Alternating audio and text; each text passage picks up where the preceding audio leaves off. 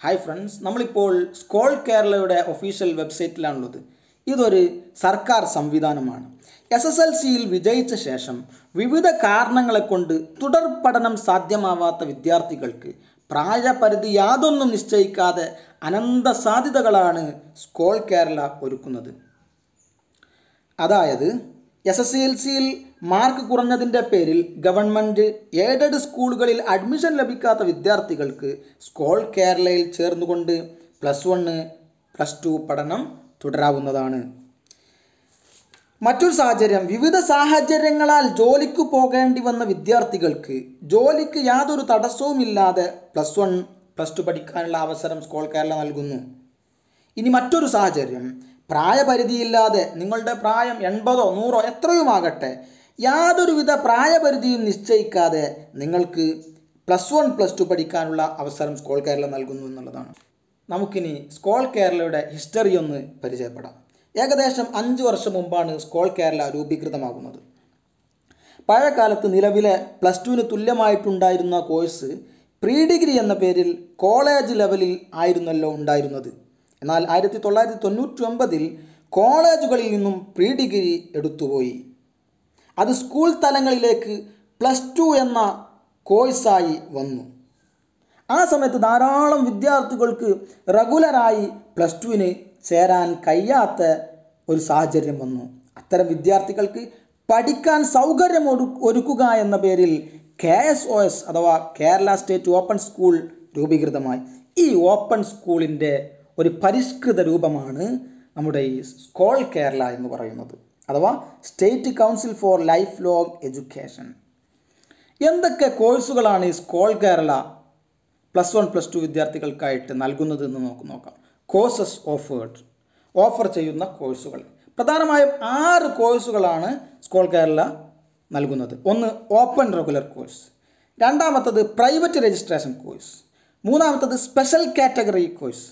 നാലാമത്തത് second year re admission course. അഞ്ചാമത്തത് V H സിയിൽ പഠിക്കുന്ന കുട്ടികൾക്ക് അഡീഷണൽ മാത്തമെറ്റിക്സ് എടുക്കാനുള്ള കോഴ്സ് ആറാമത്തത് ഡിപ്ലോമ ഇൻ കമ്പ്യൂട്ടർ അപ്ലിക്കേഷൻ അഥവാ ഡി സി എ കോഴ്സ് നമ്മൾ ഈ വീഡിയോയിൽ പ്രധാനമായിട്ടും ഫോക്കസ് ചെയ്യുന്നത് ആദ്യത്തെ രണ്ട് കോഴ്സുകളെ കുറിച്ചാണ് അഥവാ ഓപ്പൺ റെഗുലർ കോഴ്സ് എന്താണ് ഈ ഓപ്പൺ റെഗുലർ കോഴ്സ് എന്നതുകൊണ്ട് ഉദ്ദേശിക്കുന്നത്? റെഗുലറായി ഗവൺമെന്റ് സ്കൂളിൽ പഠിക്കുന്ന വിദ്യാർത്ഥികളെപ്പോലെ തന്നെ ഗവൺമെന്റ് ടീച്ചേഴ്സിന്റെ ക്ലാസ്സുകളിൽ ഒഴിവു ദിവസങ്ങളിൽ പോയി അഥവാ ശനി ഞായർ മറ്റു സർക്കാർ ഒഴിവു ദിവസങ്ങളിൽ പോയി പ്ലസ് വൺ പ്ലസ് ടു പഠിക്കാനുള്ള അവസരം ഒരുക്കി കൊടുക്കുന്നു എന്നുള്ളതാണ്. ഇതിന് ഈ ക്ലാസ്സുകൾക്ക് ഇവർ പറയുക സമ്പർക്ക ക്ലാസ്സുകൾ എന്നാണ്. ഈ സമ്പർക്ക ക്ലാസ്സിൽ ഇത്തരം ഓപ്പർ റെഗുലർ വിദ്യാർത്ഥികൾക്ക് എഴുപത് ശതമാനം ഹാജരുണ്ടാകൽ കമ്പൽസറിയാണ് നിർബന്ധമാണ്. അതുപോലെ തന്നെ പ്രാക്ടിക്കൽ വിഷയങ്ങളുള്ള വിഷയമാണ് ഇവർ എടുത്തത് എങ്കിൽ അതിൽ ലാബ് സൗകര്യമുണ്ടായിരിക്കുമെന്നത് ഇതിന്റെ ഒരു പ്രത്യേകതയാണ്. ഇനി നമ്മൾ മനസ്സിലാക്കേണ്ടത് ഇവർക്ക് പാഠഭാഗം പെട്ടെന്ന് തന്നെ ഗ്രഹിക്കാൻ വേണ്ടി ഹയർ സെക്കൻഡറി പുസ്തകങ്ങളെ അടിസ്ഥാനമാക്കിയിട്ടുള്ള സ്വയം പഠന സഹായികളും സ്കോൾ കേരള ഇവർക്ക് നൽകുന്നുണ്ട് എന്നുള്ളതാണ്. ഇത്തരം ഓപ്പൺ റെഗുലർ വിദ്യാർത്ഥികൾക്ക് സാധാരണ റെഗുലർ വിദ്യാർത്ഥികളെ പോലെ തന്നെ മൂന്ന് രീതിയിലുള്ള ഗ്രൂപ്പുകളിൽ നിന്ന് ഏതെങ്കിലും ഒരു ഗ്രൂപ്പ് തിരഞ്ഞെടുക്കാവുന്നതാണ്. ഇവർക്ക് വേണമെങ്കിൽ സയൻസ് ഗ്രൂപ്പ് തിരഞ്ഞെടുക്കാം ഹ്യൂമാനിറ്റീസ് ഗ്രൂപ്പ് തിരഞ്ഞെടുക്കാം അതുപോലെ കൊമേഴ്സ് ഗ്രൂപ്പ് തിരഞ്ഞെടുക്കാം. ഇനി നമ്മൾ പറയാൻ പോകുന്നത് ഓരോ ഗ്രൂപ്പ് തിരഞ്ഞെടുക്കുമ്പോഴും അതിലുണ്ടാകുന്ന സബ്ജക്റ്റ് കോമ്പിനേഷൻസിനെ കുറിച്ചാണ്. നമുക്കറിയാം പ്ലസ് വണ്ണിലേക്ക് ചേരുന്ന ഏതൊരു വിദ്യാർത്ഥികളും ആറ് പേപ്പർ മാത്രമാണ് പഠിക്കേണ്ടതുള്ളൂ.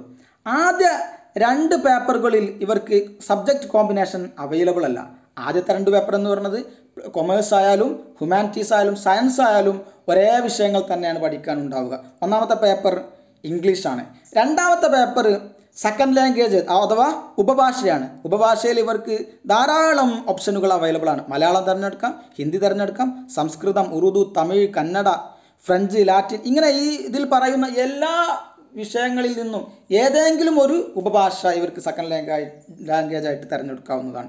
മൂന്നാമതാണ് ഈ സബ്ജക്റ്റ് കോമ്പിനേഷൻസ് വരുന്നത്. അഥവാ ആദ്യ രണ്ട് പേപ്പർ നമ്മൾ പറഞ്ഞു കഴിഞ്ഞു. ഇനി ബാക്കിയുള്ള നാല് വിഷയങ്ങളിൽ ഇവർക്ക് ഇഷ്ടമുള്ള ഈ സർക്കാർ നൽകിയ കോമ്പിനേഷനിൽ നിന്ന് ഇഷ്ടമുള്ള കോമ്പിനേഷൻ തിരഞ്ഞെടുക്കാവുന്നതാണ്.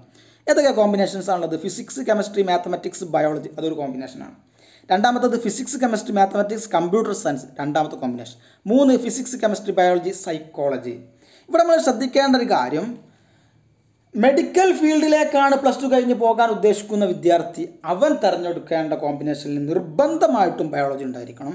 അതുപോലെ എൻജിനീയറിംഗ് ഫീൽഡിലേക്കാണ് പ്ലസ് ടു കഴിഞ്ഞിട്ട് പോകാൻ ഉദ്ദേശിക്കുന്നത് അത്തരത്തിലുള്ള വിദ്യാർത്ഥികൾ തിരഞ്ഞെടുക്കേണ്ട കോമ്പിനേഷനിൽ നിർബന്ധമായിട്ടും മാത്തമാറ്റിക്സ് ഉണ്ടായിരിക്കണം. ഇനി നമുക്ക് ഹ്യൂമാനിറ്റീസ് വിഭാഗത്തെക്കുറിച്ച് നോക്കാം. ആദ്യത്തെ രണ്ട് വിഷയത്തിൽ നേരത്തെ പറഞ്ഞ അതേപോലെ തന്നെയാണ്. ഒന്ന് ഇംഗ്ലീഷ് രണ്ട് സെക്കൻഡ് ലാംഗ്വേജ് പിന്നീട് വരുന്ന ഇത് മൂന്ന് കോമ്പിനേഷൻസുകളാണ് ഈ കോമ്പിനേഷനിൽ നിന്ന് ഏതെങ്കിലും ഒരു കോമ്പിനേഷൻ സെലക്ട് ചെയ്യാം. History economics political science sociology മറ്റൊരു combination history economics political science social work മറ്റൊരു combination history economics political science statistics ഇനി കൊമേഴ്സ് വിഭാഗത്തിൽ അവൈലബിൾ ആയിട്ടുള്ളത് നാല് കോമ്പിനേഷൻസ് ആണ്. ആദ്യം പറഞ്ഞതുപോലെ ഇംഗ്ലീഷ് സെക്കൻഡ് ലാംഗ്വേജ് അതിന് പുറമെ കോമ്പിനേഷൻ ഒന്ന് business studies accountancy economics mathematics രണ്ട് business studies accountancy economics statistics മൂന്ന് business studies accountancy economics political science നാല് business studies accountancy economics computer applications ഇനി നമ്മൾ പറയാൻ പോകുന്നത് പ്രൈവറ്റ് രജിസ്ട്രേഷനെ കുറിച്ചാണ്.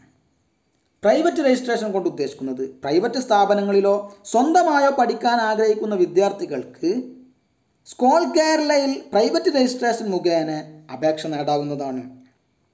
പക്ഷെ നമ്മൾ ഇവിടെ പ്രധാനമായും ഓർക്കേണ്ടത് ഇവർക്ക് രണ്ട് രീതിയിലുള്ള ഗ്രൂപ്പ് മാത്രമേ അവൈലബിൾ ആയിട്ടുള്ളൂ. സയൻസ് ഗ്രൂപ്പ് ഇവർക്ക് ലഭ്യമല്ല. പിന്നീട് ഹ്യൂമാനിറ്റീസ് ഗ്രൂപ്പ് എടുക്കാം. അതുമല്ലെങ്കിൽ കൊമേഴ്സ് ഗ്രൂപ്പ് സെലക്ട് ചെയ്യാവുന്നതാണ്. നമ്മൾ നോക്കാൻ പോകുന്നത് ഇവർക്കുള്ള സബ്ജക്റ്റ് കോമ്പിനേഷൻസുകളാണ് ഹ്യൂമാനിറ്റീസ് വിഭാഗം തിരഞ്ഞെടുക്കുന്ന വിദ്യാർത്ഥികൾക്ക് അഞ്ച് സബ്ജക്റ്റ് കോമ്പിനേഷൻസ് അവൈലബിൾ ആണ്. നേരത്തെ പറഞ്ഞതുപോലെ ഇംഗ്ലീഷ് സെക്കൻഡ് ലാംഗ്വേജ് ഇത് നിർബന്ധമാണ്. അതിന് പുറമെ കോമ്പിനേഷനിൽ വരുന്നത് ഒന്നാമത് history economics political science sociology മറ്റൊരു combination history economics political science philosophy മറ്റൊരു combination Islamic history and culture economics political science sociology മറ്റൊരു കോമ്പിനേഷൻ ഹിസ്റ്ററി എക്കണോമിക്സ് സംസ്കൃത സാഹിത്യം സംസ്കൃത ശാസ്ത്രം. മറ്റൊരു combination history economics sociology Arabic Arabic second language എടുക്കുന്ന വിദ്യാർത്ഥികൾക്ക് വളരെ നല്ലൊരു ഓപ്ഷനാണിത് സബ്ജക്റ്റ് കോമ്പിനേഷനിൽ ഒരു വിഷയം അറബിക്ക് വരുന്നുണ്ട്. അപ്പോൾ അവർക്ക് പിന്നെ പഠിക്കേണ്ടത് ഹിസ്റ്ററി എക്കണോമിക്സ് സോഷ്യോളജി ഈ മൂന്ന് വിഷയങ്ങൾ ഫോക്കസ് ചെയ്താൽ മതി. ഇംഗ്ലീഷിന് പുറമെ. ഇനി നമുക്ക് കൊമേഴ്സ് വിഭാഗം വിദ്യാർത്ഥികൾക്ക് അവൈലബിൾ ആയിട്ടുള്ള സബ്ജക്റ്റ് കോമ്പിനേഷൻ നോക്കാം. അവർക്ക് ആകെ ഒരേ ഒരു കോമ്പിനേഷൻ മാത്രമേ അവൈലബിൾ ആയിട്ടുള്ളൂ. ഇംഗ്ലീഷ് സെക്കൻഡ് ലാംഗ്വേജിന് പുറമെ business studies accountancy economics political science എന്നടങ്ങുന്ന ഈ ഒരു കോമ്പിനേഷൻ മാത്രമേ പ്രൈവറ്റ് രജിസ്ട്രേഷൻ മുഖേനയുള്ള വിദ്യാർത്ഥികൾക്ക് അവൈലബിൾ ആയ കോമ്പിനേഷൻ ഇനി നമുക്ക് പ്രൈവറ്റ് രജിസ്ട്രേഷൻ മുഖേന സ്കോൾ കേരളയിൽ രജിസ്ട്രേഷൻ നേടുന്ന വിദ്യാർത്ഥിക്ക് വരുന്ന ഫീസിനെ കുറിച്ച് പറയാം. ആകെ അഞ്ഞൂറ്റി അറുപത് രൂപയാണ് രണ്ട് വർഷത്തേക്ക് വേണ്ടി വരുന്നത്. ഇതിനു പുറമെ ഈ വിദ്യാർത്ഥികൾ എക്സാം ഫീസ് അടക്കണം. ഇപ്പോൾ രജിസ്ട്രേഷൻ ഫീസായിട്ട് അഞ്ഞൂറ് രൂപയും തപാൽ ചാർജ് മുന്നൂറ്റി മുപ്പത്തഞ്ച് രൂപ പ്രോസസ്സിംഗ് ചാർജ് ഇരുപത്തഞ്ച് രൂപ ഇങ്ങനെ മൊത്തം അഞ്ഞൂറ്റി അറുപത് രൂപയാണ് വരുന്നത്. എന്നാൽ ഓപ്പൺ റെഗുലർ മുഖേന അഡ്മിഷൻ നേടുന്ന വിദ്യാർത്ഥികൾക്ക് ഫീസ് അല്പം കൂടുതലാണ്. കാരണം അവർക്ക് സ്വയം പഠന സഹായി ലഭ്യമാണ് ഫ്രീ ആയിട്ട്. അതുപോലെ തന്നെ സർക്കാർ അധ്യാപകരുടെ സേവനങ്ങൾ ലഭ്യമാണ് ലാബ് സൗകര്യം ലഭ്യമാണ്. ഇതൊക്കെ അവർക്ക് ലഭ്യമായതുകൊണ്ട് തന്നെ അല്പം ഫീസ് അവർക്കുണ്ട്. അവരുടെ ഫീസാണ് ഇന്ന് നമ്മൾ പറയാൻ പോകുന്നത്. സയൻസ് ഗ്രൂപ്പ് എടുത്ത വിദ്യാർത്ഥികൾ ബയോളജി കോമ്പിനേഷൻ വരുന്നുണ്ടെങ്കിൽ ആകെ മൂവായിരത്തി എണ്ണൂറ്റി അൻപത് രൂപ വരുന്നു. കമ്പ്യൂട്ടർ സയൻസ് ആണ് കോമ്പിനേഷനിൽ വരുന്നത് എങ്കിൽ നാലായിരത്തി അൻപത് രൂപ വരുന്നു. സൈക്കോളജി ആണെങ്കിൽ മൂവായിരത്തി എണ്ണൂറ്റി അൻപത് രൂപ വരുന്നു. ഹ്യൂമാനിറ്റീസ് ആണെങ്കിൽ ഏത് കോമ്പിനേഷൻ എടുത്ത വിദ്യാർത്ഥികൾക്കും രണ്ടായിരത്തി ഒരുന്നൂറ് രൂപയാണ് വരുന്നത്. എന്നാൽ കൊമേഴ്സിൽ മാത്തമെറ്റിക്സ് കോമ്പിനേഷനായി എടുത്ത വിദ്യാർത്ഥിക്ക് രണ്ടായിരത്തി മുന്നൂറ് രൂപയും സ്റ്റാറ്റിസ്റ്റിക്സ് പൊളിറ്റിക്കൽ സയൻസ് ആണ് എടുത്തത് കോമ്പിനേഷൻ എടുത്തതെങ്കിൽ രണ്ടായിരത്തി ഒരുന്നൂറ് രൂപയും പിന്നീട് കമ്പ്യൂട്ടർ ആപ്ലിക്കേഷനാണ് എടുത്തതെങ്കിൽ രണ്ടായിരത്തി എണ്ണൂറ് രൂപയും വരുന്നുണ്ട്. ഇനി നമുക്ക് രജിസ്ട്രേഷനുമായി ബന്ധപ്പെട്ട ചില പ്രധാനപ്പെട്ട കാര്യം പറയാം. നിലവിൽ രണ്ടായിരത്തി ഇരുപത്തി ഒന്ന് രണ്ടായിരത്തി ഇരുപത്തിരണ്ട് വർഷത്തേക്കുള്ള രജിസ്ട്രേഷൻ അവൈലബിൾ ആയിട്ടില്ല. ഏതായാലും ഇനി അത് വരുന്ന സമയത്ത് നമ്മൾ ചെയ്യേണ്ട അറിഞ്ഞിരിക്കേണ്ട പ്രധാനപ്പെട്ട കാര്യമാണ് പറയാൻ പോകുന്നത്. ഇങ്ങനെ നമ്മൾ സ്കോൾ കേരള വെബ്സൈറ്റിൽ തുറന്നു നോക്കുന്ന സമയത്ത് ഇങ്ങനെ രജിസ്റ്റർ നൗ എന്ന് പറഞ്ഞ് നമുക്ക് ഈ നേരത്തെ പറഞ്ഞ ആറ് ഓപ്ഷനുകളിൽ നിന്ന് ഏത് ഓപ്ഷനും രജിസ്റ്റർ ചെയ്യാൻ ഇങ്ങനെ കാണിക്കും. ഇവിടെ നമ്മൾ ഓപ്പൺ സ്കൂളിന്റെതായതുകൊണ്ട് തന്നെ നമുക്ക് രജിസ്റ്റർ നൗ എന്ന അതിൽ ഓപ്പൺ ചെയ്ത് കഴിഞ്ഞാൽ ഇങ്ങനെ ഒരു വിൻഡോയാണ് പ്രത്യക്ഷപ്പെടുക.